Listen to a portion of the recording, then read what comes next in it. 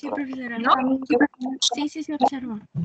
Ah, ya, sí se observa, ya. Gracias. Bien, vamos a comenzar entonces. Entonces, lo primero, la información ya ha sido ingresada en la semana 2. Hay bastante información para poder compartir. Vamos a estructurar nuestro tiempo porque tenemos que hacer el taller de igual manera, ¿ya? Entonces, a ver, comenzamos. Entonces, el día de hoy lo que vamos a ver es con respecto a las normas de seguridad y riesgos en el laboratorio. Es una parte de la información, ¿ya? Entonces, normas de seguridad y riesgos en el laboratorio. ¿Por qué básicamente nosotros relacionamos o tenemos en cuenta en el curso de química analítica cuantitativa, evaluar el nivel de riesgo. ¿Cómo se llama esta información que estamos compartiendo aquí? ¿Qué información nos brinda? La ficha de seguridad. Me escucho, vamos a subir un poquito el micrófono. Ya. ¿Cómo me decía? Esa información la podemos encontrar en la ficha de seguridad. Correcto, ¿no? En la ficha de seguridad lo encontramos, en la ficha de seguridad de los compuestos químicos, y viene a ser el rombo, ¿no? El rombo de NFPA, ¿no? Que en este caso NFPA viene a ser la Asociación Nacional de Protección contra el Fuego o del Fuego, ¿no? Con respecto a lo que son los compuestos químicos peligrosos, bueno, básicamente, ¿no? Entonces aquí nosotros tenemos información, o también le dicen el rombo diamante también, de esa manera es conocido. ¿Y por qué estudiamos? Bueno, dos cosas. Con respecto a lo que es el curso, como nosotros comúnmente manejamos lo que son compuestos químicos, ¿no? En la parte de laboratorio, e incluso ahora en las plataformas virtuales, laboratorios de tipo virtuales, hay algunos que se están incorporando, escoger, ¿no? Te dan una temática y te dan una variedad tanto de materiales de vidrio como, eh, como insumos químicos o sustancias químicas, y te dan para que tú identifiques de acuerdo al experimento, ¿no? Y cada vez que tú quieras, por ejemplo, identificar o jalar o arrastrar un compuesto químico, te sale una alerta, por ejemplo, ¿no? Una alerta con respecto al nivel de riesgo en la salud o algunos en con respecto a lo que es la inflamabilidad, eh, lo que es la reactividad, ¿no? Entre otros. Entonces te dan informaciones de alertas. Eso, por ejemplo, cuando uno utiliza algunos laboratorios de tipo virtuales. En el caso de ya de la manera presencial en los laboratorios, eh, nosotros teníamos que estar manejando estos compuestos químicos, ¿no? A veces en muchos casos desconocíamos información de una ficha de seguridad o a veces esos este, compuestos químicos eran traspasados a otros y no estaba toda la información, solamente más que el nombre, ¿no? Entre otros. Ahora, a nivel ya de, de carrera, a alguien me podría decir ¿Por qué tenemos que tener en cuenta esta parte de, lo que es el rombo de NFPA, el manejo de los, de los opuestos químicos peligrosos? ¿Por qué estudiamos en la carrera de Ingeniería Ambiental?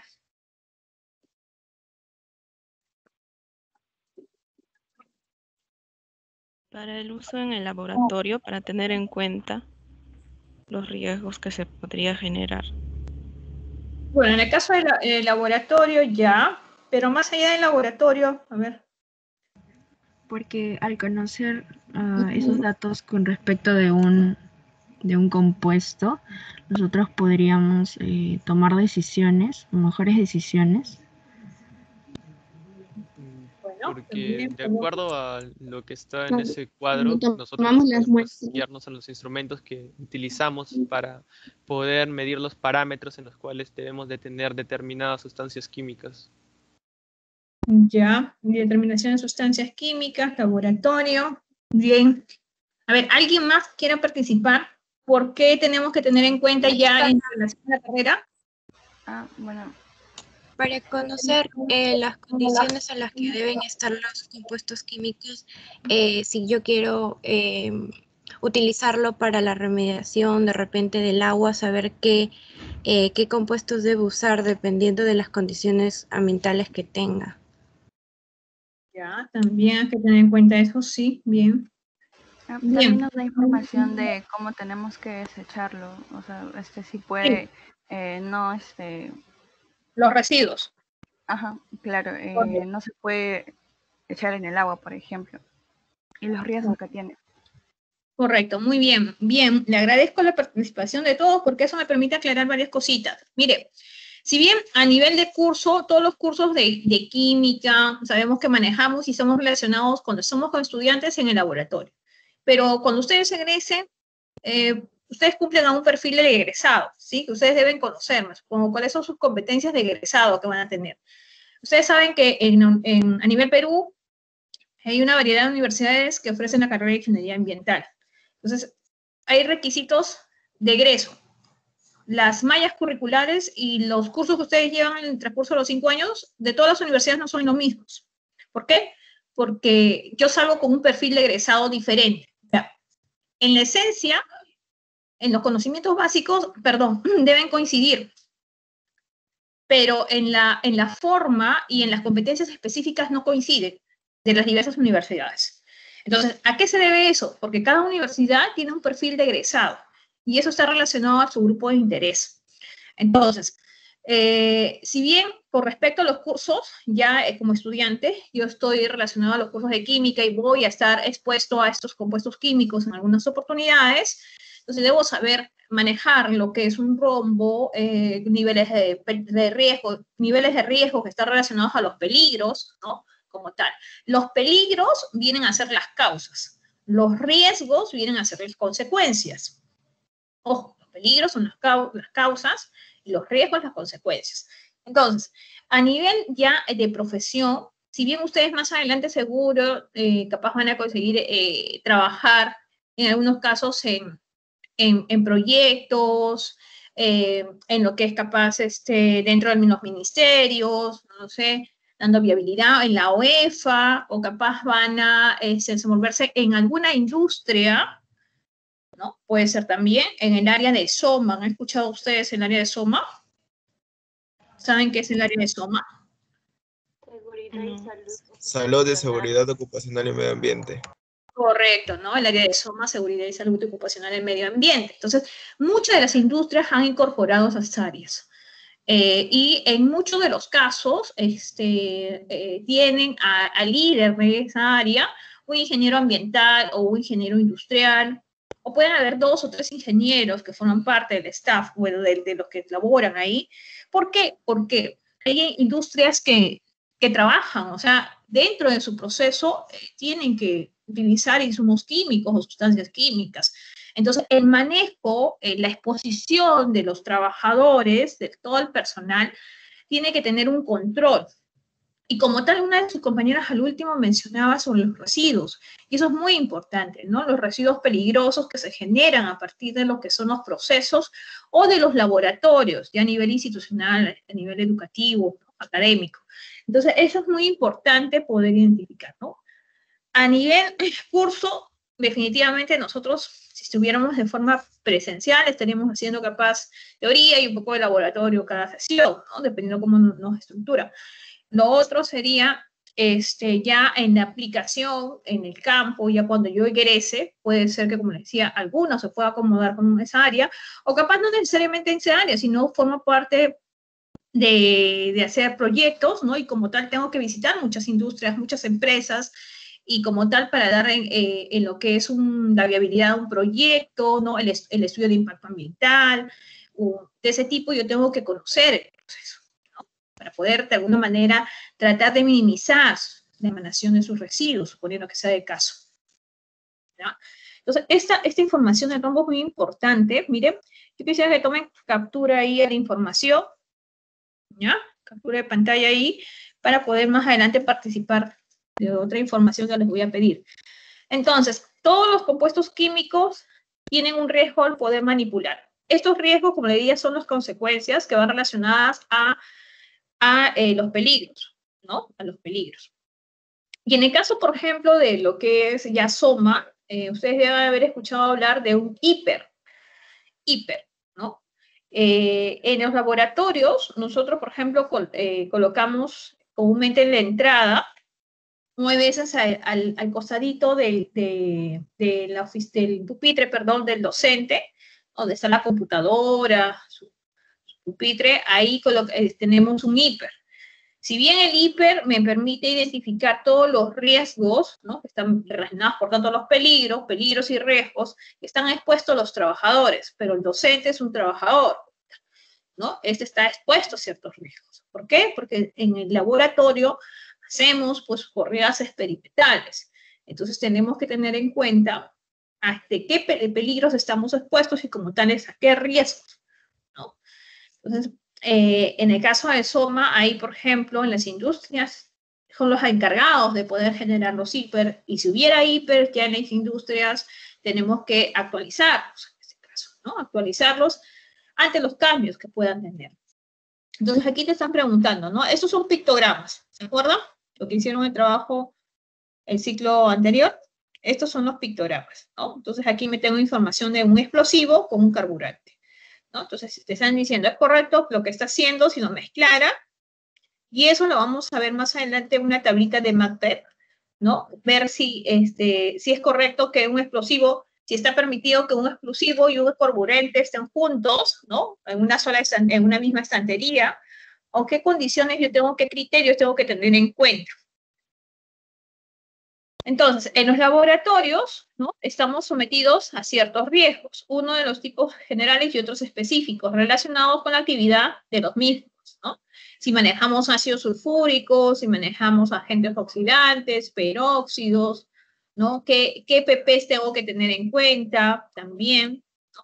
Entonces, por eso dice es necesario que cada uno establezca un programa de riesgo químico cuyo objetivo esté acorde con la conciencia de la calidad y salud y seguridad del medio ambiente. En el caso de la universidad, no sé si lo he, lo he ingresado, a ver, voy a confirmar eso. Voy a, voy a confirmar.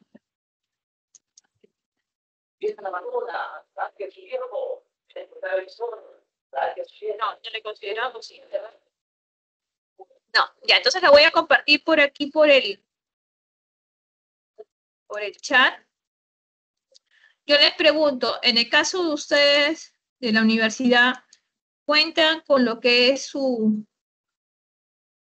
cuentan con lo que es su guía o protocolos de seguridad en el laboratorio. ¿Ustedes conocen esa información?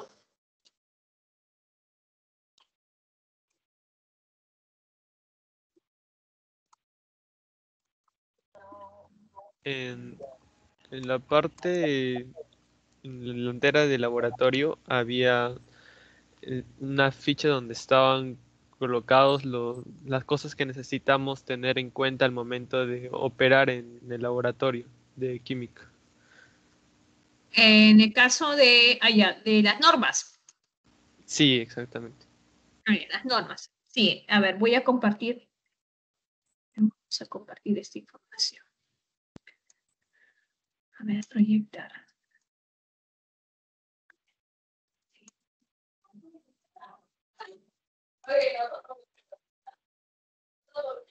Ya, se ve un PDF, ¿no? Bueno, parte de un PDF. Sí, sí, se ve. ¿no? Ya, esta, esta información sí está en la, en la página web de la universidad, yo les voy a compartir, es un protocolo de seguridad para laboratorios y talleres. Todas las universidades que están licenciadas como tal, dentro de los criterios, si bien nos piden lo que es la implementación de los laboratorios y todo lo demás, también tenemos que tener lo que son los protocolos de seguridad. O eh, algunos me colocan también ya aparte de los protocolos como guías, ¿no? Entonces, como decía Carlos, eh, en algunos laboratorios pues colocan estratégicamente eh, cuáles son las normas de seguridad brevemente, ¿no? Puede ser 10 frases, 15 frases que están relacionados a las a las normas de seguridad dentro de los laboratorios, los EPPs también, a veces nosotros tenemos por cada, por cada laboratorio que vamos a realizar, cada experimento, tenemos los EPP mínimos que tenemos que requerir. Entonces, esta información eh, sí ha sido generada en la universidad desde el 2018, hasta donde yo lo he estado revisando. Y como mencionaba, eh, existen, por ejemplo, bueno, comienza con lo que es la información de los términos, eh, de las definiciones o los términos, y de las responsabilidades que tienen tanto los docentes como el personal que básicamente encargado del laboratorio o talleres. ¿no? una cosa es el, docente que va a dictar la clase y otro es del encargado del laboratorio, más allá también del personal que ingresa a la limpieza del laboratorio, ¿no? Y como tal, también tenemos que tener en cuenta los subcomités de seguridad y salud en el trabajo, SST, ¿no? Por ejemplo, en lo que son brigadas contra incendios, si hubiera un incendio eh, que capaz se origina en el laboratorio, una seguridad, eh, eh, hay una brigada en la universidad.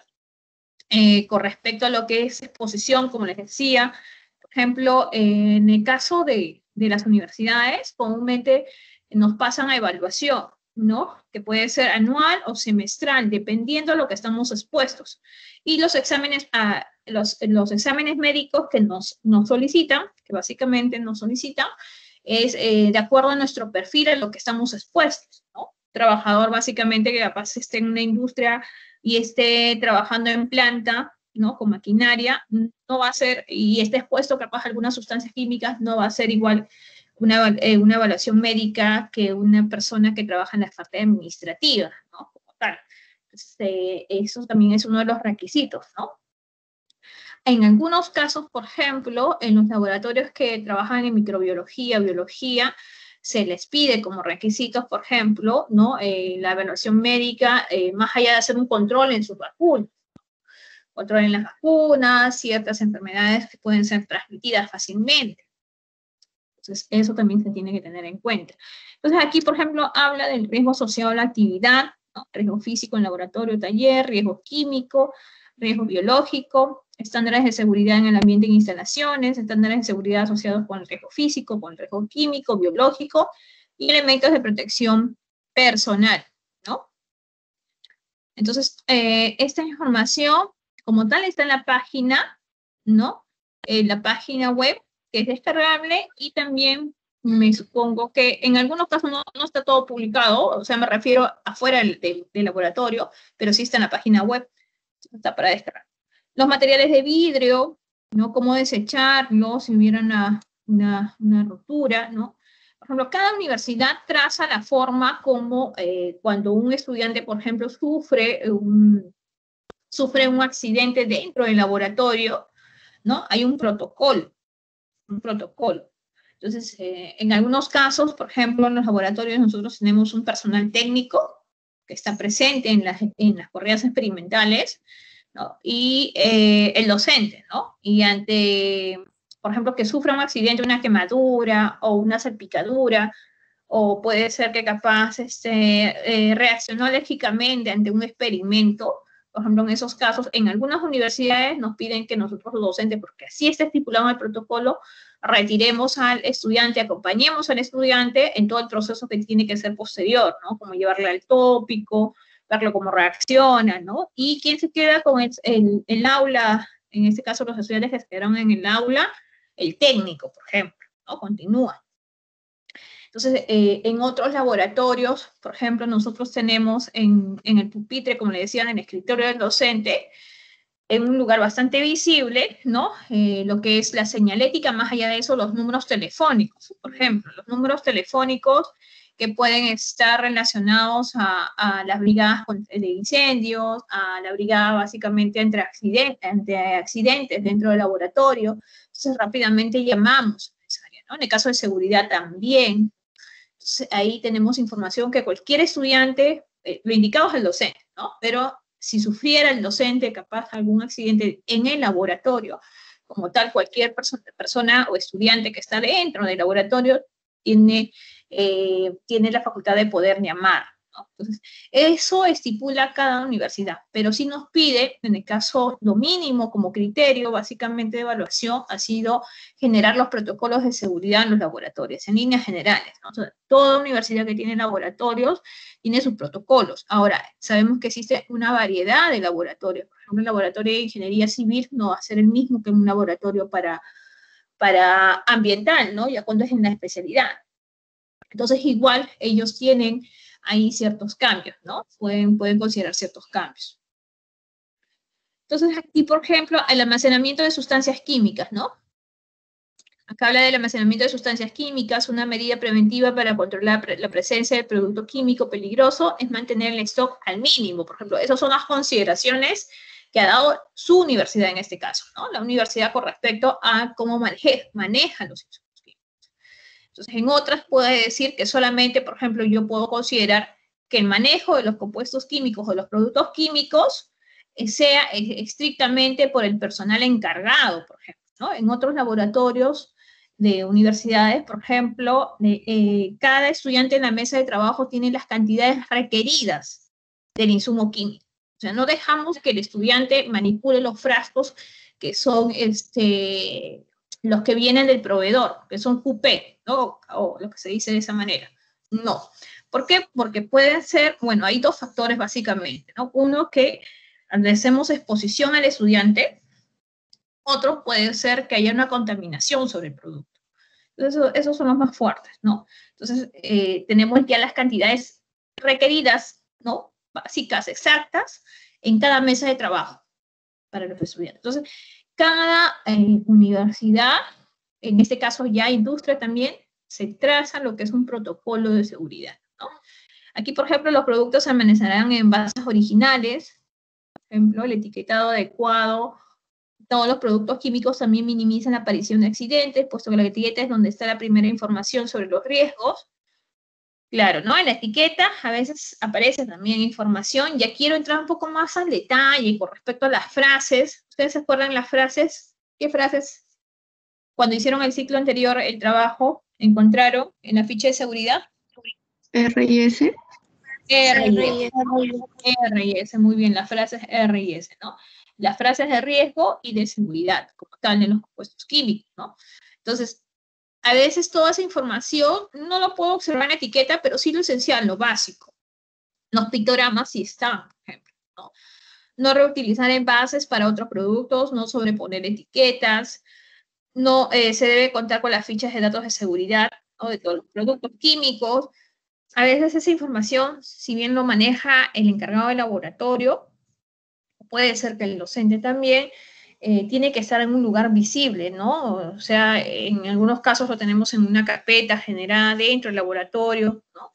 O lo otro ahora, pues todo ya es virtual, ¿no? Lo tenemos en una computadora que está en el laboratorio y podemos descargar fácilmente, ¿no? O está en un drive o está en un compartido también, ¿no? Mantener un control de fechas, tanto de adquisición como la fecha de apertura del envase para realizar un control de caducidad y sobre todo de los productos peroxidables, ¿no? El eteretílico, el isopropílico, el dioxano, entre otros. Hay ciertos compuestos químicos, ustedes saben, que son más sensibles que otros, ¿no? Por su estructura, básicamente. Entonces, una organización adecuada respetando las incompatibilidades, si bien las incompatibilidades están con respecto al cuadro en McDell, como les mencionaba, ¿no? Hay una clasificación, como ustedes saben, explosivos, carburantes, inflamables, tóxicos, corrosivos, nocivos, irritantes, entre otros, ¿no? Entonces aquí esta es la información de la, de, la universidad, de la estantería, por ejemplo, ¿no? La altura que debe tener como máximo, eh, en algunos productos químicos eh, que se considera que no esté pues en la parte superior a más de 1,7 metros, por ejemplo, ¿no? Eso hay, hay esta información con respecto en la ficha de seguridad. El trabajo bajo campana extractora,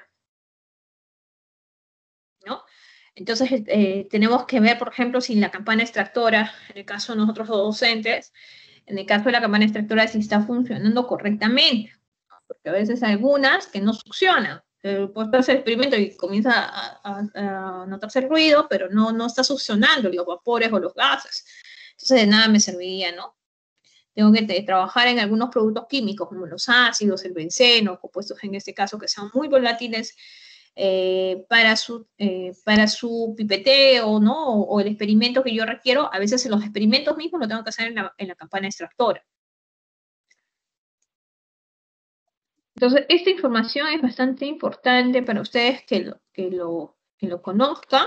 Si bien alguno me dirá, pero profesor, ahorita no estamos de manera presencial, ¿no? Pero eh, siempre es importante tener en cuenta, tener en cuenta que en los laboratorios a los que estamos expuestos. Ahora, no más, más allá del laboratorio, cuando yo esté trabajando, ¿no? Cuando estén practicando o trabajando. Siempre es importante saber cuáles van a ser mis funciones, a qué voy a estar expuesto, ante qué peligros voy a estar expuestos. No necesariamente todos los peligros van a ser químicos, ¿no? Pueden ser físicos también. Y como tal, a qué riesgos también, ¿no? Como tal, como le decía, los peligros vienen a ser las causas y los riesgos, las consecuencias. ¿no? Si manejo, este, si yo este, tengo capaz, eh, voy a estar manipulando lo que son los ácidos, entonces Eso vendría a ser el peligro, manipulación de ácidos, ¿no? Y los riesgos, podría sufrir una quemadura, una intoxicación, ¿no? Entre otros. Entonces, el examen, el examen médico ocupacional, como le mencionaba, ¿no? A las personas que trabajan en el laboratorio, en los talleres, ¿no?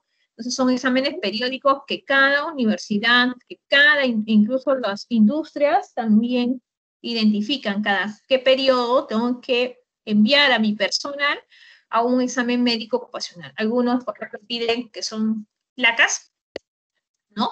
De los pulmones, para ver si capaz tiene otra enfermedad, ¿no? O lo que puede estar como hay una, hay una exposición capaz constante, ¿no?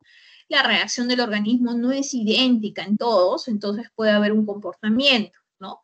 Entonces, identificarlo es muy importante. Entonces aquí más información que, aquí por ejemplo, ¿no? Manejo de los residuos peligrosos biocontaminados. Todos los materiales, muestras y cultivos contaminados deben ser descontaminados antes de su eliminación o esterilizados para su reutilización como tubos de ensayo, cajas Petri, entre otros. ¿no? Esta operación debe ser ejecutada en forma organizada de acuerdo al plan de manejo de residuos peligrosos. Existe un plan de manejo de residuos peligrosos de la universidad.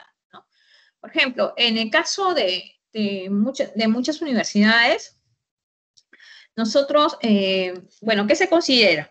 Se considera, por ejemplo, primero identificar cuánto de residuos peligrosos, o sea, identificar en, un semestre más o menos cuántos experimentos yo realizo para cada sección, para cada grupo y como tal me proyecto las cantidades, ¿no? al proyectarme las cantidades, más o menos yo tengo estipulado hacer un, convenio con una empresa prestadora de servicio, con una EPC, que se dice. ¿no? Esta empresa prestadora de servicio, eh, dependiendo de la cantidad que yo genere como institución, eh, contrato capaz que venga cada tres meses, ¿no? Y ahora, estos residuos peligrosos que se han generado en el laboratorio, ¿dónde se tienen que tener? En realidad, eh, se destina un punto dentro de la universidad fuera del laboratorio, si bien la, recolección va a ser inmediata después del experimento, recolectar en envases ¿no? y bien identificados los residuos, pero después estos son, yo los tengo que derivar a un punto que se ha identificado dentro de la universidad como un almacén previo, ¿no? Que tiene que tener las condiciones, que tiene que estar un poco apartado, eh, que tengo que tener mucho cuidado cómo identificar los compuestos químicos que no pueden estar muy cercanos entre ellos, ¿no? En el caso de inflamabilidad y que son corrosivos, ¿no? O carburantes, por ejemplo. Tengo que tener esa información.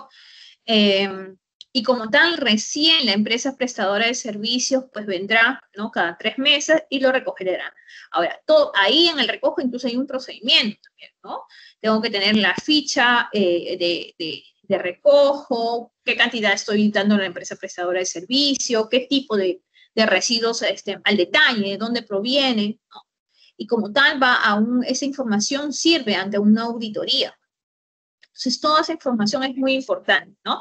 Ahora, con respecto a la esterilización, por ejemplo, de los tubos de ensayo, en algunos experimentos microbiológicos, entre, otros, cada universidad también tiene su procedimiento y sus equipos específicos.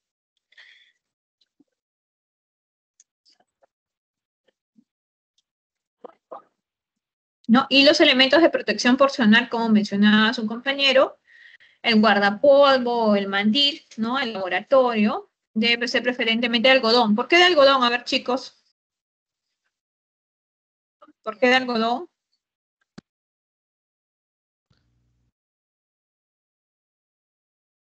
Tiene mayor grosor que a comparación de los sintéticos y de repente la resistencia al material puede influir ahí para el momento de si por algún motivo se puede derramar alguna sustancia o un solvente. Ya, bien, bien, Carlos. Eh, a ver, vamos ahí a, a, incrementar un poco de información, si es correcto también lo que menciona Carlos, pero lo que pasa es que el, el, hay, hay guardapolvos que son también de poliéster o este, lo que nosotros llamamos pesco. Pesco que viene a ser mezcla. Pez es poliéster y co es algodón.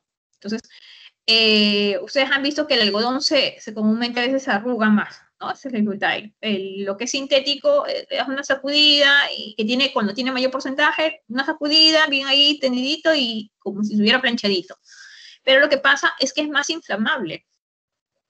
¿No? ¿El algodón también, profesora? Sí, también. Pero suponiendo que yo tengo un poliéster, a ver, se, rapidito se prende. Entonces, hay veces mm, en los laboratorios, si bien nos piden que sean de, de manga larga, por ejemplo, siempre hay que tener mucho cuidado, ¿no? Hay, hay guardapolvos que a veces eh, utilizamos de un familiar, que también he tenido oportunidad, a veces me he olvidado algunas ocasiones este guardapolvo llevar en los experimentos, ¿no? Eh, y, por ejemplo, eh, utilizaba los guardapolvos que nosotros tenemos en la universidad como reserva. Y algunos, algunos guardapolvos son, son más grandes, pues no son de tu talla, y me, da, me ha habido una oportunidad, por ejemplo, que la amarga me colgaba, ¿no? Era trataba de remangármelo, pero no es correcto en el laboratorio. Entonces, ahí, por ejemplo, ahí estamos, ahí hay un peligro, ¿no? Como tal, y yo puedo estar expuesto a un riesgo, ¿no? Una mala manipulación, como tal, y se puede prender.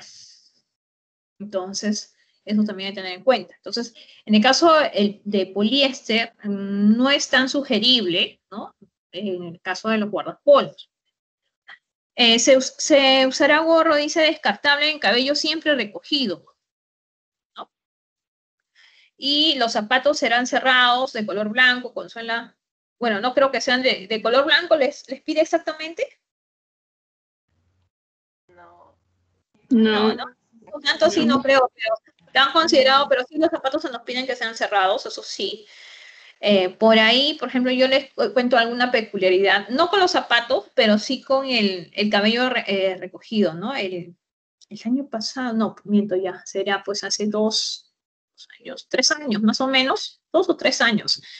Em, en otra universidad nosotros estábamos por licenciarnos, ¿no? Ya estábamos en la última fase y estamos en, estábamos en la auditoría, o sea, en la visita, ¿no? Entonces justo, em, bueno, nuestro coordinador nos envía por el WhatsApp y un colega este, estaba en el laboratorio, ¿no? Nos envía el WhatsApp y nos dice, pues, este, estimados colegas, tengan cuidado que pueden entrar a su, a su clase, ¿no? O pueden, están, están en auditoría, básicamente en licenciamiento, y van a estar ubicados ellos porque van a una comisión y, y están ubicados en un punto en la, en la universidad, pues, no sé Y en esta ocasión estaban ubicados, le habían dado un espacio en la universidad en el primer piso. Los laboratorios en esa universidad son en el primer piso y sus laboratorios son este, de paredes, por así decirlo, no tiene paredes así de construcción, sino es todo este, con vidrio, con vidrio. Entonces, una persona que pueda estar pasando eh, por ¿no? el pasadizo de ese tipo, uno puede observar lo que está haciendo los estudiantes y puede observar lo que está haciendo el docente, ¿no? el personal técnico, entre otros, ¿no? Entonces, eh, eh, en este caso, pues se nos avisó y bueno, y justo le avisaron al docente cuando ya estaba comenzando su laboratorio. Bueno, de ahí, en el caso ahí, tenemos un personal técnico que nos ayuda, por ejemplo, a poder ingresar, que el estudiante eh, ingrese con su guardapolvo, ingrese con sus CPPs, ¿no? Nos ayuda. Entonces, el, personal es el que filtra. Si no tiene, te dice, ¿sabes qué? No tienes, ponte y, y colócate. Bueno, todo dice que pasó con, con unidad. En el caso de que eh, estas personas de la auditoría de la SUNEDU estaban pasando por el pasadizo y observa a una señorita que estaba sin el, en este caso, el gorro, ¿no? De protección en el cabello. Entonces, eh, le llaman, en estos casos, ¿a quién le llaman? No el técnico, le llaman al docente. el, auditor eh, le hace una seña al docente y, ¿no? Entonces, como ya estábamos avisados, en caso de él estaba avisado, eh, sale, dice, ¿no? Él cuenta eso, que sale y, y dice, ¿no? El, qué incomodidad tenía. Y, bueno, le indica que le señala, ¿no? A la señorita que estaba sin el, sin el el, el, gorro, perdón. Y este, el docente sustenta que había, bueno, nosotros tenemos un control, como les explicaba, ¿no? Antes de que ingrese el estudiante, y que ella sí ha ingresado, sino que muy probable se ha sacado o se le ha caído, no lo sé, eh, bueno, el docente explica de esa manera y el, ¿no? en estos casos pues sabíamos que era muy, es muy importante para la universidad pues aprobar esa auditoría porque basta una inconformidad o un reporte, ¿no? Que haya inconformidades para que no pues este, lo prolonguen, ¿no? La, en este caso era licenciamiento. Y eh, bueno, lo único que queda ahí, por ejemplo, es reconocer, ¿no? Él decía que reconoció ¿no? el error, que capaz no, lo, se dio cuenta, porque bien, el docente a veces tenemos cuatro o cinco mesas que tenemos que estar dando vuelta ahí, viendo el experimento, ¿no? Y ver que los jóvenes estén realizando, avanzando ante una duda, no se, no se dio cuenta, pues, ¿no? De los EPPs que se estaban todos este, cumpliendo. reconocer, tuvo que reconocer básicamente para que no trascienda.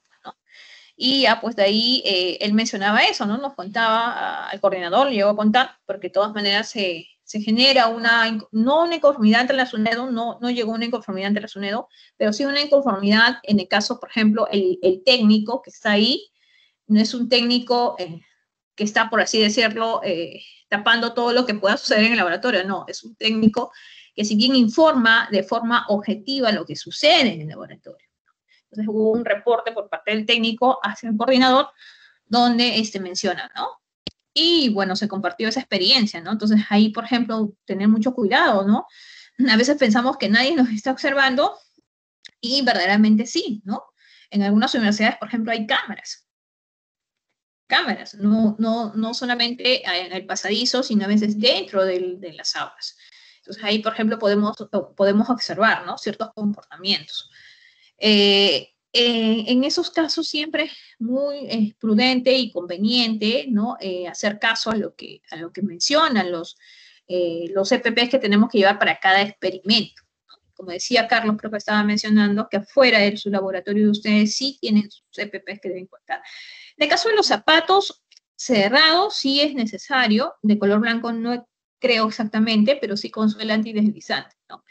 Ahora, eh, muchas veces capaz en épocas de verano, a veces eh, ha habido oportunidades, yo también he tenido estudiantes que han ido con bermuda. Y, o señoritas que han querido ingresar al laboratorio con shorts, y en esos casos, por ejemplo, nosotros lo tenemos bien claro. No permitimos estudiantes que estén, por mi profesora, pero voy a sacar guardapolvo encima.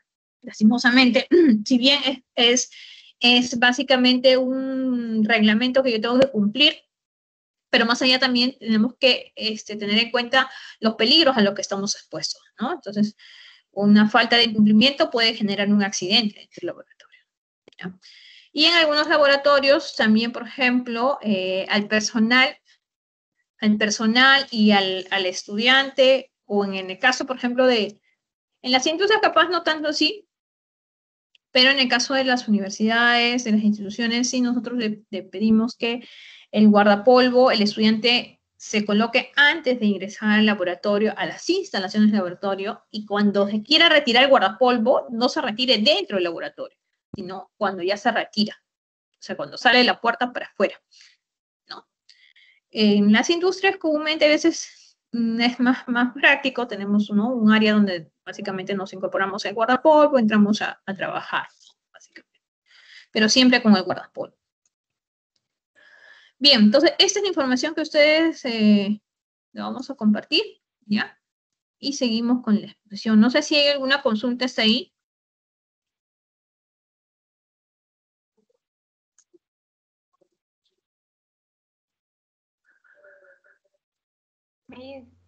Dígame. Este, en el caso este, de que en este año no se puede ir al laboratorio, este, ¿cómo se podría hacer para eh, aprender a usar los este, de laboratorio, los instrumentos? Ah, esa todavía no nos han indicado en el caso de, la, de su universidad. Me supongo que eso está muy de la par de lo que, muy de la parte en la que también las autoridades, ¿no? A nivel nacional, este, den la viabilidad si es semipresencial, si es este, no sé, si de alguna manera capaz le dan la disponibilidad a cada, a cada universidad. Eso depende también eh, cuán cumplimiento se está haciendo. En realidad, yo en las otras universidades que estaba bueno, laborando, eh, ninguno lo hemos hecho de manera presencial. Por ahí me han contado, pero en otra universidad análisis instrumental no es. Este, eh, me han contado que en otra universidad privada sí lo están haciendo eh, semipresencial, pero no sé qué tan cierto sea, de verdad. No sé qué tan cierto sea esa información. Todo el, el ciclo anterior, todo lo hemos hecho de manera este, virtual. A mí creo que me comentaron que hay algunos tesistas sí que estaban este, yendo porque tenían, eh, tenían información que, completar, ¿no? En el caso de los tesistas, en el caso de su universidad de ustedes, ¿ah? Había unos tesistas que, si bien capaz has comenzado a hacer tus análisis, que tenías algunos análisis pendientes, entonces en esos casos creo que sí le estaban dejando. Ya, ahí les envié por el chat, ¿ya? Para que puedan descargar.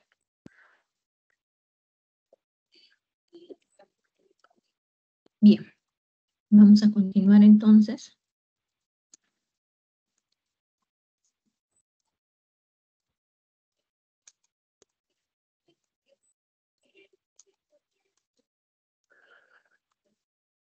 Ya, entonces eh, en, en, cada laboratorio, ¿no? Como tal, tenemos que tener unas normas de seguridad, ¿no? Las normas de seguridad son sistemas de control que tienen como objetivo generar patrones de comportamiento basados en las medidas a tomar para prevenir y controlar los riesgos inherentes en el proceso determinado. Lo que buscamos es disminuir y en el mejor de los casos evitar los accidentes dentro del laboratorio y más allá lo podemos también aplicar en las industrias. Como sabemos, las sustancias químicas tienen características, propiedades intrínsecas, ¿no? Que les, cuales están eh, relacionados a los riesgos que pueden tener la manipulación, ¿no? Y por ello se estipula las normas de seguridad. Dentro de la clasificación de sustancias químicas, nosotros sabemos que existe una clasificación que se basa en lo que son las características propias intrínsecas de los compuestos químicos y son nueve desde explosivos, gases, líquidos inflamables, sólidos inflamables, procurentes, peróxidos, entre otros, ¿no? Por ejemplo, sólidos inflamables podría ser en el caso del sodio. El sodio, el litio, son del grupo 1A, son bastante este, inflamables, ¿no? Si yo lo dejo, por ejemplo, expuesto en el aire, se prende. ¿no? Por, ahí, por ello, nosotros en esos casos de sólidos lo hacemos reposar en una sustancia orgánica, ¿no? Cuando lo tenemos en el laboratorio. Líquidos inflamables, ¿no? como la gasolina, eh, compuestos químicos que tengan el éter, ¿no? entre otros, por ejemplo, son líquidos inflamables. Los gases, eh, el cloro, ¿no? De ese tipo son considerados.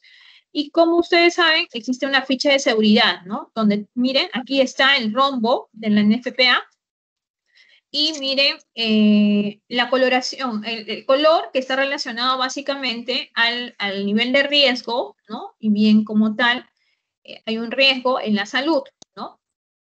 ¿Cuánto es niveles? Uno, dice. ¿Se acuerdan que yo les dejé para que tomaran foto? ¿Qué significaba un nivel de uno? Poco peligroso poco peligroso, ¿no? Entonces, a ver, nosotros nos viene esta información. Entonces, yo tengo que saber que uno, el nivel de riesgo uno en la salud, poco peligroso. En el caso de rojo, de inflamabilidad, 3. Debajo de 37 grados. Debajo de 37 grados es inflamable el compuesto, ¿no? O sea, hay que tener mucho cuidado, soporta hasta 37, o sea, debajo de 37 es, es bastante inflamable. Entonces, tener mucho cuidado con su manipulación. La reactividad, cero.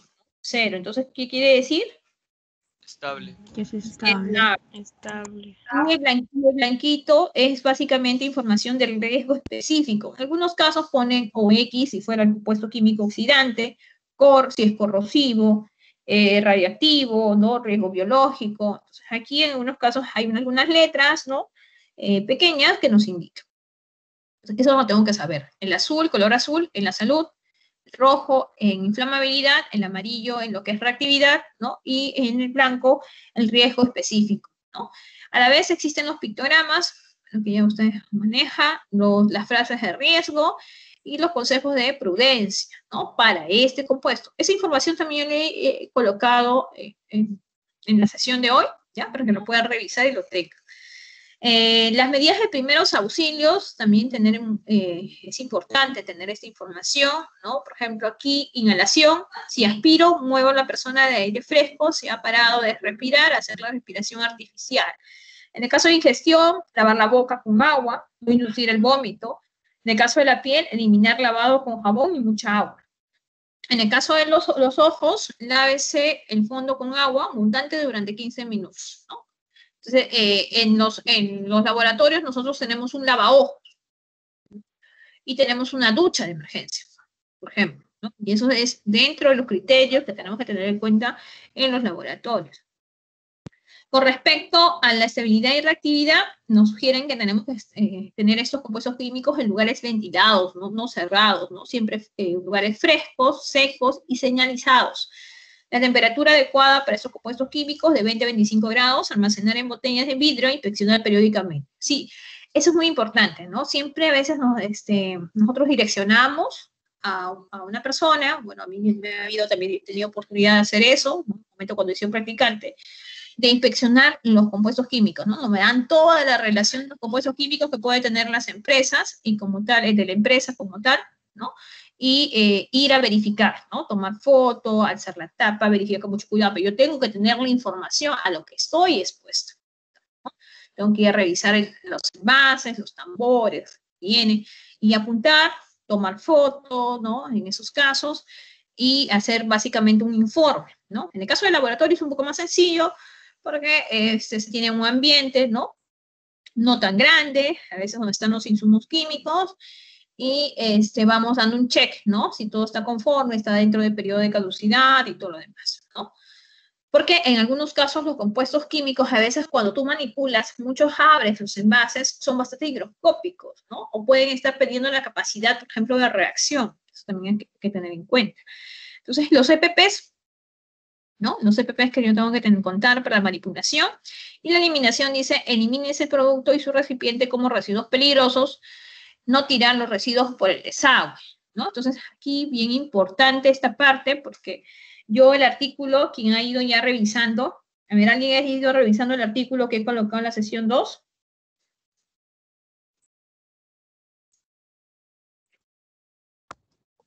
No, aún no. Todavía no. Bien, vamos entonces, el, el, artículo que les voy a dar ahora para que hagan el taller está relacionado básicamente a los residuos peligrosos que se generan en la litografía y en la industria textil. Entonces ahí, por ejemplo, han tomado ciertas estrategias, ¿no? Es un artículo colombiano, me sirve preguntar aquí a nivel Perú, por ejemplo, a nivel Perú, nosotros sí tenemos una normativa con respecto a los residuos peligrosos, ¿ya? Eh, esta, esta, esta, creo que también he colocado, ah, no, de, de buenas prácticas he colocado. Eh, en el caso de residuos peligrosos sí tenemos una normativa de su manejo. Incluso si yo tuviera dudas eh, de, algún, de algún material, si es peligroso o no, existen anexos dentro de lo que es el, procedimiento de identificación, ¿no? Existen ciertas características que yo puedo identificar si se relacionan a un residuo peligroso o no. Acuérdense que los residuos peligrosos van a los que son los rellenos de seguridad. Y como les mencionaba, en el caso de los laboratorios, de las industrias que generan residuos peligrosos, estos son derivados mediante lo que es una EPS, una empresa prestadora de servicios. A ellos se les tiene que dar un manejo muy particular con respecto a estos residuos. Incluso en su derivación con esta empresa prestadora de servicios, ellos tienen que conocer qué compuestos o qué residuos están derivando para su manejo. Entonces aquí las sustancias químicas, eh, su clasificación, un poco más de información, en el caso de líquidos inflamables, la gasolina, el benceno, la nitroglicerina, el alcohol, entre otros. Los carburantes, peróxidos orgánicos, generalmente contienen o liberan oxígeno y causan la combustión de otros materiales o contribuyen a ella. El agua oxigenada, el peróxido de hidrógeno, el nitrato de potasio. Como sabemos, los riesgos en el trabajo del laboratorio pueden ser físicos, químicos o biológicos. ¿no?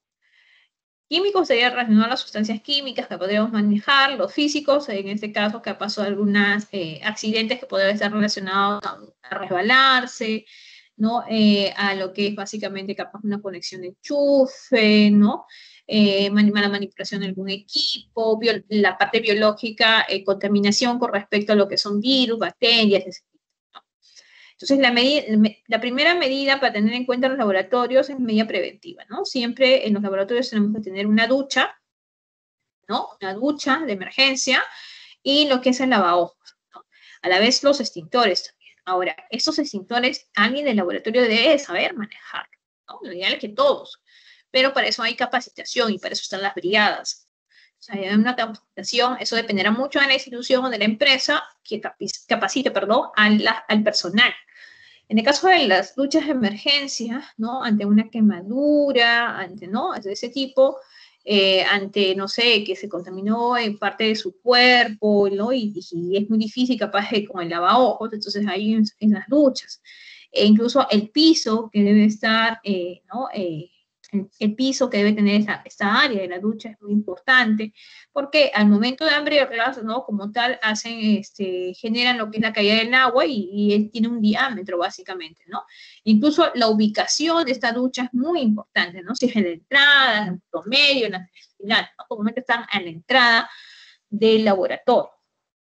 en el caso de los lavaojos, también importante, ¿no? Eh, puede ser que nos salpique lastimosamente, si bien a veces nos piden los EPP, si no lo estamos usando continuamente, ¿no? O por casualidad, capaz me saqué para este, apuntar, no lo sé, y de repente alguien direccionó mal el experimento y me cayó este, ¿no? Eh, alguna solución en mi, en mi vista, me salpicó, entonces en esos casos abundante agua, ¿no?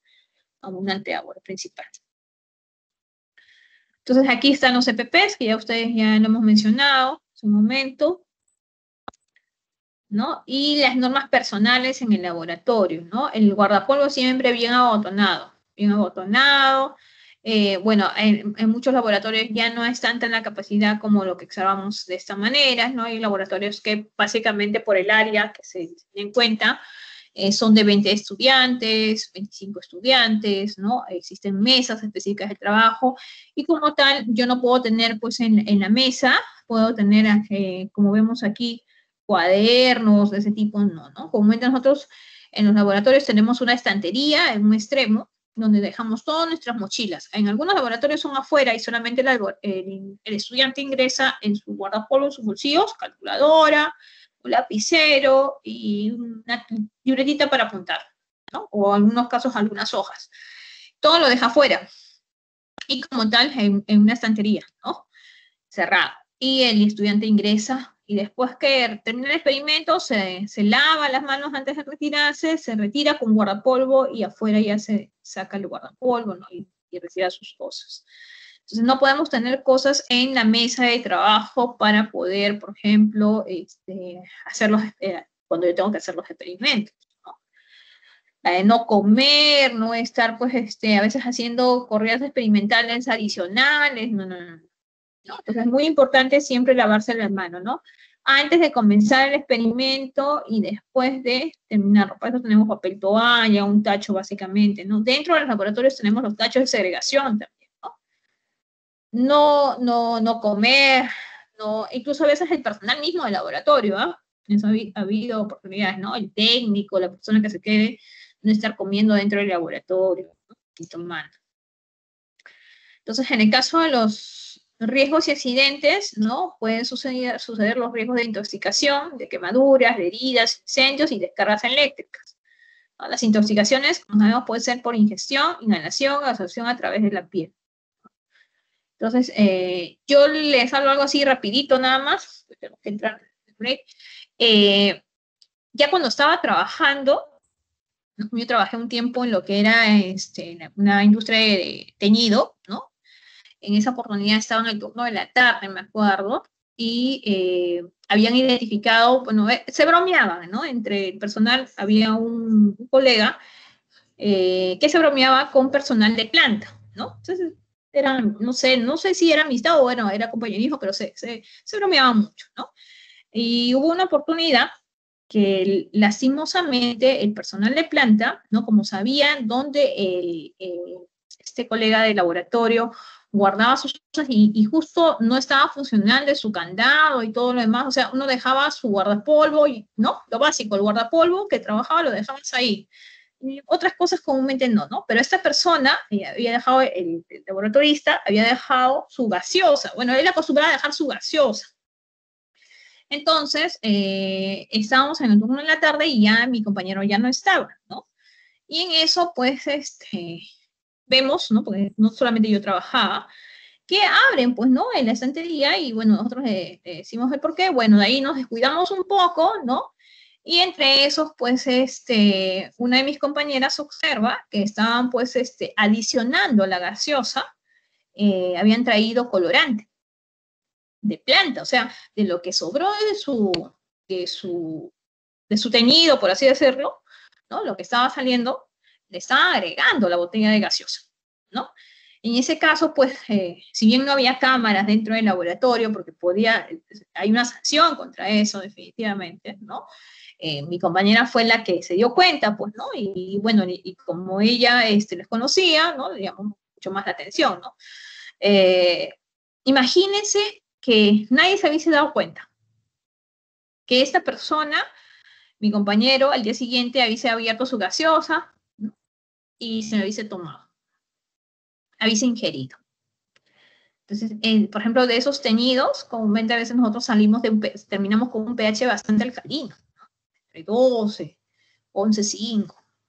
Entonces, eh, lo que habéis sucedido, ¿no? Entonces, eh, si bien en esos casos siempre hay que ser bastante prudente, incluso con lo que nosotros dejamos en nuestro trabajo, ¿no? Eso también es muy importante, ser un poco desconfiados, ¿no? Eso también, también he aprendido en el transcurso, en el sentido de que a veces tú puedes pensar que no, que hay una amistad y tú das mucha información y de repente eso, esa información más bien sirve de, diferente manera, ¿no?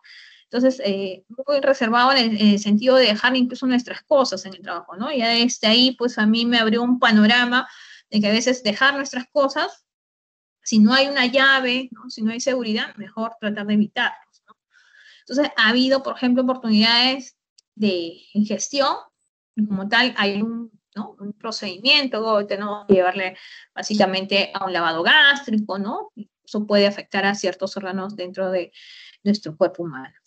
Entonces, en el caso del material roto, eh, en algunos laboratorios ya de universidades, nosotros, por ejemplo, este, como les decía, ¿no? Si un estudiante sufre un accidente en el laboratorio, el docente es el encargado de llevarle al tópico y de seguir el procedimiento. Nosotros manejamos con mucho material de vidrio. En el caso de los incendios también, eh, saber manipular bien en lo que es el, en este caso, ¿no? El, eh, se me fue el nombre. ¿Cómo se llama? A chicos. Extintor. El extintor, ¿no? Y ha habido oportunidades que el extintor, gracias, que el extintor eh, puede estar bien colgadito ahí y la fecha de caducidad ya, ya venció. Entonces ahí tener en cuenta eso también, siempre estar revisando esa información. ¿ya? Los enchufes, ¿no? Eh, radiación capaz, en este caso, ionizante, es eso básicamente, ¿no? De luz, también hay que tener eh, ciertas, ciertos niveles de iluminación, ¿no? Entonces ahí evitar las roturas, el fuego, el frío, el calor, entre ellos. El riesgo químico que ya hemos visto, de manera inhalatoria, ingestión dérmica, salpicaduras, y como tal las sustancias químicas son considerados contaminantes químicos, por ello necesitan un manejo de residuos considerados como residuos peligrosos. En algunos casos, los, eh, los, compuestos, los compuestos, en este caso químicos, si bien son considerados como tóxicos, sus efectos pueden ser reversibles o irreversibles. En el caso, por ejemplo, de, estudiantes o, o, de personal docente que seamos alérgicos, entonces ahí saber siempre tener en cuenta ante qué voy a estar expuesto, qué EPPs tengo que tener mucho más cuidado con el manejo de mis EPPs, ¿no? Y eh, en el caso, por ejemplo, de ese tipo, cuando tú ya separas al, al alergeno con respecto a la persona que es eh, alérgica, deja básicamente de ver un efecto, ¿no? Entonces, en esos casos son efectos reversibles. En el caso de efectos irreversibles, capaz están de la mano del tipo, básicamente, de compuesto químico, de radiación, por ejemplo, lo que están expuestos a radiación sin el cuidado, sin el cuidado, ¿no? Sin la protección adecuada. O a veces puede ser eh, una exposición prolongada, el tiempo de exposición y las concentraciones también de las sustancias químicas a las que están expuestas. Entonces, con respecto a la clasificación de los efectos, según el tiempo de reacción, pueden ser agudos o crónicos. Los agudos aparecen poco después de la exposición y los crónicos aparecerán mucho tiempo después de la exposición, repetida pequeñas dosis de tóxico. Según las alteraciones que producen, pueden ser corrosivos, irritantes, neumoconióticos, asfixiantes, en el caso de los gases, por ejemplo. Los riesgos químicos, en algunos, eh, como sabemos, en algunos casos vienen al detalle, en el caso de las etiquetas, o algunos pictogramas, nada ¿no? Ya quisiera a profundidad con las frases, estaría en este caso ya en la ficha de seguridad. Aquí, por ejemplo, eh, información sobre yodo resublimado, tiene el peso molecular, el lote de producción, el peso, los pictogramas, pictogramas la seguridad personal, el riesgo específico del producto, ¿no? Y los consejos de prudencia para embalajes, almacenaje y conservación. Peróxido de dibenciolo, soilo, perdón, también sus pictogramas, ¿no? Información, algunas frases y con respecto también al manejo del compuesto químico. Entonces, aquí están los pictogramas de información de los compuestos químicos. Vamos a, a mí me parece, eh, antes de entrar al taller y dejarles ahí, voy a explicar un poquito sobre solamente una diapositiva, ¿ya? Aquí miren, no sé si se están observando mi, mi web. ¿O todavía no se observa? No, todavía no se observa. No, todavía. Voy a, perdón, voy a, este, a descargar esta información, ya manejo materiales y residuos peligrosos. Y ahí solamente voy a explicar una tablita. Es una información del Ministerio de Vivienda y Construcción y Saneamiento, manejo de seguro de sustancias y residuos peligrosos, eh, con respecto a lo que es la tabla de, aquí está, la tabla de MATPEL, ¿no? Cuadro de compatibilidad para el almacenamiento y transporte de MATPEL. Entonces, eh, ¿cómo saber si yo, por ejemplo, este, en, en una ubicación puedo, en una estantería, en una misma estantería, por ejemplo, puedo colocar lo que es un líquido inflamable con un sólido carburante, por ejemplo, ¿no? Entonces, aquí nosotros colocamos la clasificación, ¿sí? La clasificación de las sustancias químicas, eh, que eran nueve, aquí le estamos considerando básicamente ocho, ¿ya? Ocho, eh, la clasificación, ocho, y también de forma horizontal, ¿no? Y también de forma vertical, los mismos ocho, ¿ya? En el mismo orden considera. Entonces, eh, ¿puedo considerar abajo sus pictogramas? Sí, puedo considerar sus pictogramas y como tal me tengo que tener en cuenta lo siguiente. Eh, el color, en este caso rojo, me da información que no deben almacenarse juntos, no en la misma área, por ejemplo. En el caso de un color amarillo, se pueden almacenar juntos adoptando ciertas medidas preventivas como estantes separados. ¿no? ¿A qué distancia? Dígame. ¿Abrió algún archivo? No veo nada. A ver, chicos. Queda congelado su web, profesora. ¿Se ha congelado? Sí. vamos a volver a subir.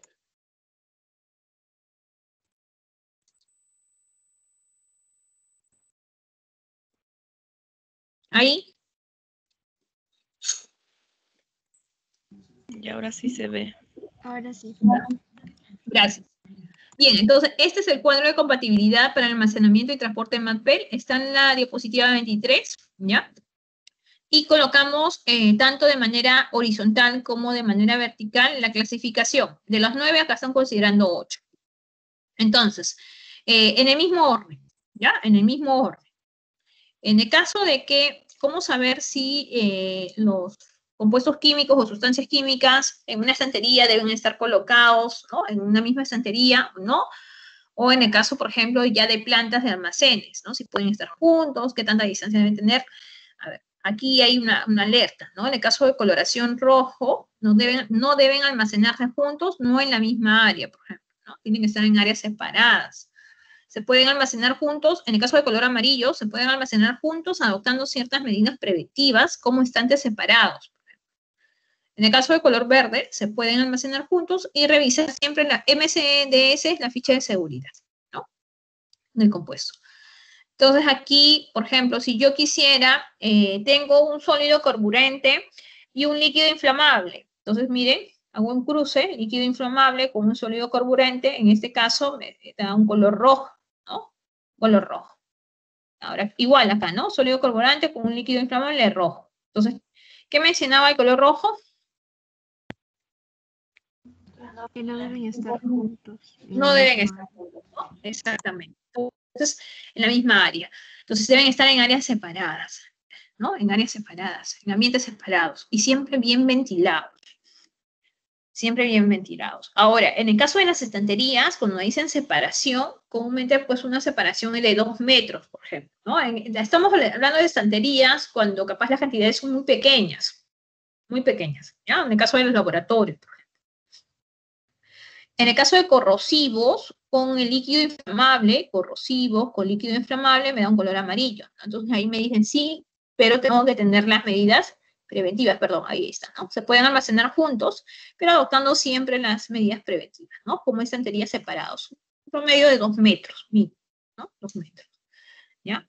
Ahora, en el caso de eh, combinar, por ejemplo, o tener una estantería líquido inflamable y tóxico agudo, entonces sí es permitido, ¿no? Color verde.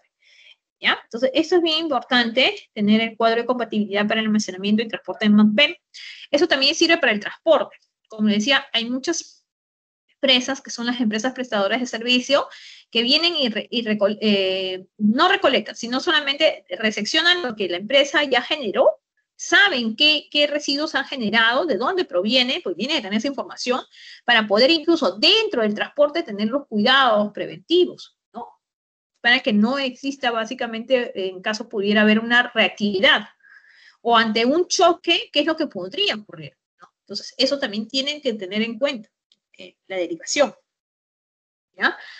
Bien, entonces eso es lo que básicamente quería compartir de esta diapositiva, que era lo esencial. Ahora sí, vamos a, vamos a descargar la información. Ah, ya.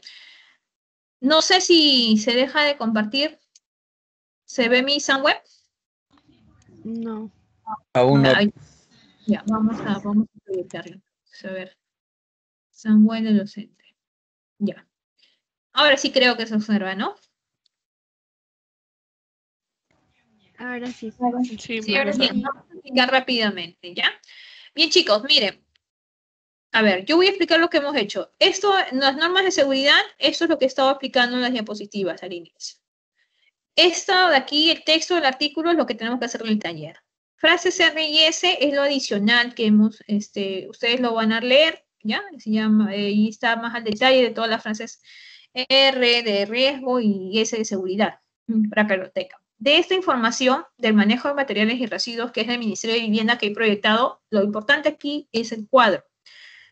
El cuadro de almacenamiento y de transporte en MASPEP. Eso es lo que he proyectado.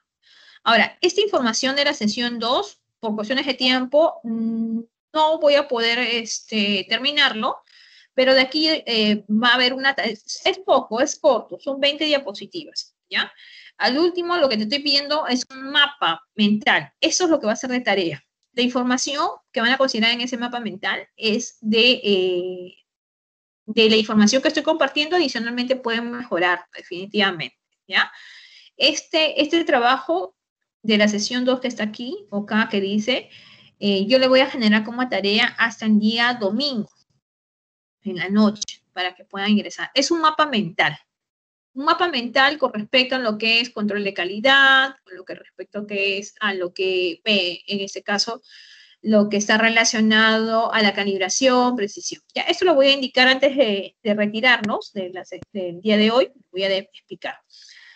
Ahora, voy a descargar aquí, ¿ya? Para poder explicar el taller.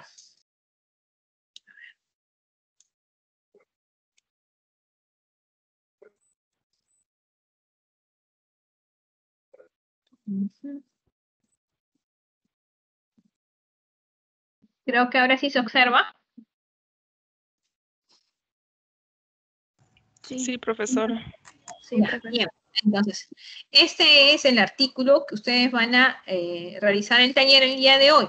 ¿ya? Van a tener una hora, todavía no corre el tiempo, ¿ya? Todavía no corre el tiempo. Voy a explicar este es un artículo colombiano que es con respecto a las estrategias de producción más limpia para el adecuado manejo y reducción en el origen de residuos peligrosos. El estudio ha sido eh, relacionado a la parte de industrias litográficas y tintorerías. ¿No? Entonces, nosotros aquí en el caso Perú, en el caso de Mina, sí estimula a las empresas de tener producción más limpia. que tener cuidado. Una cosa es producción más limpia, otra cosa es una ISO 14001. ¿Qué es una ISO 14001? A ver, chicos. Tengo nueve minutos para poder profundizar un poco esto. ¿Qué es ISO 14001?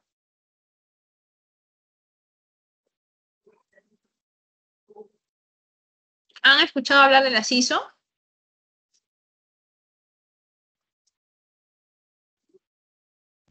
Es un estándar internacional para, para que las empresas tengan un plan de manejo ambiental.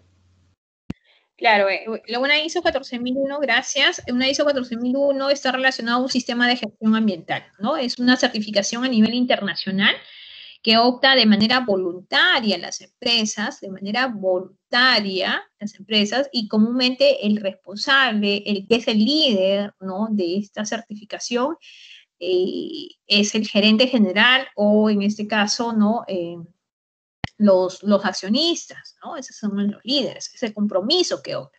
Es una certificación voluntaria a nivel internacional que opta una empresa. En algunos rubros en el Perú sí es necesario porque lo hace competitivo, como en el caso de las minerías. Pero a nivel Perú, por ejemplo, solamente el 1% de las industrias o las empresas cuentan con una ISO 14001, que es un sistema de gestión ambiental. Y un sistema de gestión ambiental involucra básicamente que yo identifique como empresa todas las etapas de mi proceso, qué genero de residuos para poder minimizarlos y en el mejor de los casos capaz, este, en el mejor de los casos eliminarlos, ¿no? O dar un valor agregado posterior, ¿no? ese es un sistema de gestión ambiental. Ahora, existe ISO 14006, por ejemplo, que está relacionado al ecodiseño, ¿no? Pero producción más limpia ya son básicamente eh, tipo de estrategias que, básicamente toma una empresa, una institución, para reducir sus impactos con respecto al medio ambiente. Ahora, ¿por qué he considerado esta información? Porque acá menciona residuos peligrosos. Y cuando ustedes van a leer, van a leer que en esos dos tipos de industrias, básicamente se utilizan pues colorantes, este, solventes, ¿no? Entre otros, ¿ya? Entonces, eh, son, bueno, 10 páginas y la última es básicamente la bibliografía, ustedes saben, entonces tenemos 9 páginas. La presentación van a ser como máximo esta vez 14 eh, diapositivas, ¿ya? 14 diapositivas como máximo y vamos a trabajar en equipos, equipos. Entonces, yo eh, el ingreso lo voy a, yo voy a generar ahora como tarea ustedes saben que van a tener una hora, a partir del momento que yo digo, a partir de ahora corre, generarse una hora, y al último vamos a dejar solamente a un equipo al azar para que exponga, ¿ya? ¿Correcto? A ver, ¿alguna consulta? ¿Consultas? Creo que ya están comenzando con el trabajo. Miss, el mapa mental es individual. No, eh, el mapa mental todavía no es para ahora. El mapa mental es para la, para la, para salir domingo. Ya, no, no es individual, es en equipo. Y tienen que usar una una herramienta de, una herramienta básicamente que podemos acceder, ¿no? En Google, ese tipo. Le estoy dejando, al, último voy a explicar, porque ahí está este, indicado en la última diapositiva. Un link. Bien, ¿dudas sobre el trabajo de ahora? Sí, sí, sí, a ver. Eh, sobre el trabajo, ¿cuáles serían los, los puntos que tomaríamos para realizar el PPT? Ya, bueno, una introducción, ¿ya? Y identificarle el objetivo del trabajo. Eh, de ahí vamos a, si ustedes quieren, capaz, eh, para mí lo, importante es la introducción, el objetivo y la metodología. ¿Ya? La metodología de, de la investigación, ojo no lo que son de la investigación que hizo, que consistió el artículo. Ahora, es importante poder capaz compartir, yo quisiera que esta información sí estuviera en sus diapositivas, a quien le toca exponer o a quienes ya sean, este, van a estar en la exposición capaz de detallar. Hay otras figuras más, parece más abajo. la metodología de la investigación y de ahí eh, los resultados y conclusiones. Introducción, objetivos, metodología, resultados y, conclusiones. ¿Correcto? Ya, profesora, gracias. Listo. ¿Alguna consulta más?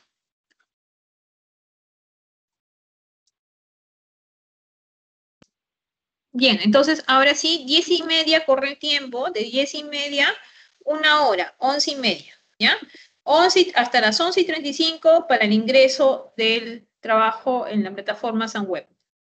y de ahí escogemos a un equipo para que... Bien chicos, les dejo entonces.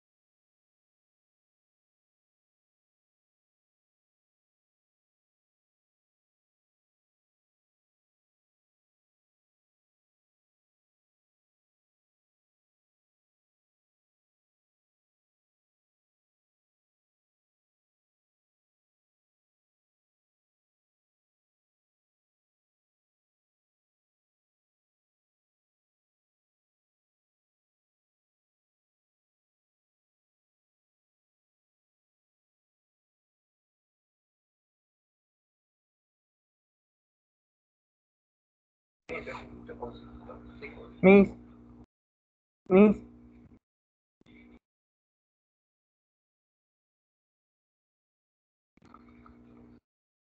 Mis buenas, disculpa.